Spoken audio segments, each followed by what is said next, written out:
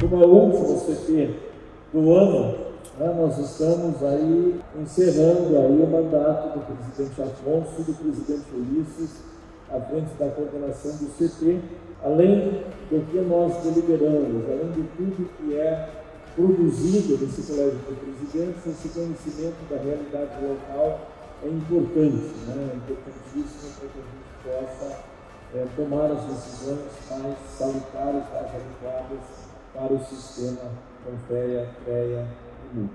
Nós estamos à disposição, a presidência, a nossa equipe técnica que está aqui conosco, os nossos conselheiros federais. Obrigado e parabéns pelo trabalho, presidente Afonso Lins, parabéns pelo trabalho, presidente Ulisses. Obrigado e abraço a todos.